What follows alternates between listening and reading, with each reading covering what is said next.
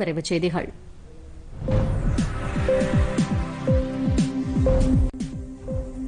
தஞ்சாவூர் மாவட்டத்தில் தனியார் துறை மூலம் வரும் பத்தாம் தேதி வேலைவாய்ப்பு முகாம் நடைபெற உள்ளதாக மாநில தொழிலாளர் நலன் மற்றும் திறன் மேம்பாட்டுத்துறை அமைச்சர் சி வி கணேசன் தெரிவித்துள்ளார். திருமங்கலக்குடி தனியார் பொறியியல் கல்லூரியில் நடைபெற இருக்கும் வேலைவாய்ப்பு முகாமிற்கான முன்னேற்பாடு பணிகளை நேரில் ஆய்வு செய்த அமைச்சர் விழிப்புணர்வு பிரச்சார வாகனத்தை தொடங்கி வைத்தார். இந்த வேலைவாய்ப்பு முகாமில் சென்னை திருப்பூர் கோவை திருச்சி தஞ்சாவூர் கும்பகோணம் உள்ளிட்ட நகரங்களிலிருந்து நூற்றுக்கும் மேற்பட்ட முன்னணி தனியார் நிறுவனங்கள் கலந்து கொள்ள உள்ளன. மயிலாடுதுறை மாவட்டம் முழுவதும் ஒரே நாளில் ஆயிரத்து அறுநூற்று அறுபது பயனாளிகளுக்கு ஆறு கோடியே எழுபத்து ஒன்பது லட்சம் ரூபாய் மதிப்பீட்டில் உதவித்தொகை மற்றும் தாலிக்கு தங்கம் ஆகியவற்றை மாநில சுற்றுச்சூழல் துறை அமைச்சர் மெய்யநாதன் வழங்கியுள்ளார். மாவட்ட ஆட்சியர் லலிதா தலைமையில் சங்கரன் பந்தல் சோழம்பேட்டை சீர்காழி ஆகிய இடங்களில் நடைபெற்ற நிகழ்ச்சிகளில் அமைச்சர் பங்கேற்றார். இந்த நிகழ்ச்சிகளில் சட்டப்பேரவை உறுப்பினர்கள் பூம்புகார் நிவேதா முருகன் சீர்காழி பன்னீர்செல்வம் மயிலாடுதுறை ராஜகுமார் மற்றும் முக்கிய பிரமுகர்கள் கலந்து கொண்டனர்.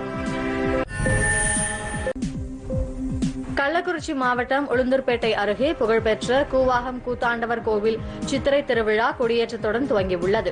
பதினெட்டு நாட்கள் நடைபெறும் இந்த திருவிழாவில் பங்கேற்பதற்காக பல்வேறு மாநிலங்களில் இருந்தும் பல்வேறு மாவட்டங்களில் இருந்தும் திருநங்கைகள் கூவாகத்தில் குவிந்து வருகிறார்கள். மகாபாரத போரில் அரவான் எனப்படும் கூத்தாண்டவர் களப்பலி கொடுப்பதை நினைவுகூரும் வகையில் ஆண்டுதோறும் நடைபெறும் இந்த திருவிழாவில் முக்கிய நிகழ்ச்சி வருகிற பதினெட்டாம் தேதியும் தேரோட்டம் வரும் பத்தொன்பதாம் தேதியும் நடைபெறுகிறது. புதுச்சேரி ஆரம்ப சுகாதார மையங்களில் பெண்கள் மற்றும் குழந்தைகளுக்கான இரண்டு நாள் சிறப்பு முகாமில் யூனியன் பிரதேச வேளாண் துறை அமைச்சர் தேனி ஜெயக்குமார் தொடங்கி வைத்தார். மங்களம் சட்டப்பேரவை தொகுதிக்கு உட்பட்ட மேல அரியூர் கிராமத்தில் நடைபெற்ற நிகழ்ச்சியில் பங்கேற்ற அமைச்சர். பிறந்த குழந்தைகள் முதல் வளரிடம் பருவத்தினர் வரை அனைவருக்கும் இந்த சிறப்பு முகாமில் ஆலோசனைகள் வழங்கப்படும் என்று தெரிவித்தார்.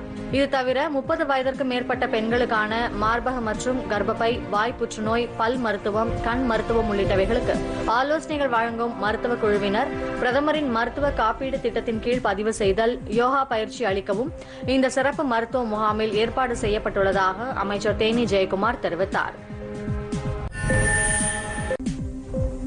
மதுரை மாநகராட்சிக்கு ஜல்சக்தி துறை அமைச்சகம் வழங்கிய தேசிய நீர் விருதுக்கு அம்மாநகராட்சியின் ஆணையாளர் கார்த்திகேயன் மத்திய அரசுக்கு நன்றி தெரிவித்துள்ளார். அண்மையில் புதுதில்லியில் நடைபெற்ற நிகழ்ச்சியில் நீர் மேலாண்மை திட்டங்களை சிறப்பாக செயல்படுத்தியதற்காக மதுரை மாநகராட்சிக்கு மூன்றாவது இடத்திற்கான விருதினை மத்திய ஜல்சக்தி துறை அமைச்சர் கஜேந்திர சிங் ஷெகாவத் இணையமைச்சர் பிரகலாத் சிங் பட்டேல் இருவரும் வழங்கினர். மதுரை மக்களின் ஒத்துழைப்பு கிடைத்த விருது என்று மாநகராட்சி ஆணையாளர் கார்த்திகேயன் தெரிவித்துள்ளார். சென்னை மாநகராட்சி பட்ஜெட் ஆறு ஆண்டுகளுக்கு பிறகு வருகிற சனிக்கிழமை தாக்கல் செய்யப்பட உள்ளது. மாநகராட்சி மேயர் பிரியா தலைமையில் இரண்டாயிரத்தி இருபத்தி இரண்டு இருபத்தி மூன்றாம் ஆண்டுக்கான பட்ஜெட்டை வரி விதிப்பு மற்றும் நிதிக்குழு தலைவர் சர்ப ஜெயாதாஸ் தாக்கல் செய்கிறார்.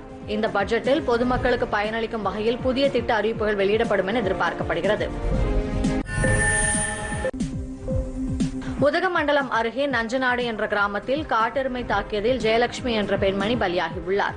நரிக்குழி ஆடா என்ற இடத்தில் தேயிலை தோட்டத்தில் இவர் பணியாற்றிக் கொண்டிருந்த போது இந்த சம்பவம் நிகழ்ந்தது. காட்டெருமை தாக்கி உயிரிழந்த பெண்ணின் குடும்பத்திற்கு ஐம்பதாயிரம் ரூபாய் நிவாரண உதவி வழங்கப்பட்டுள்ளது.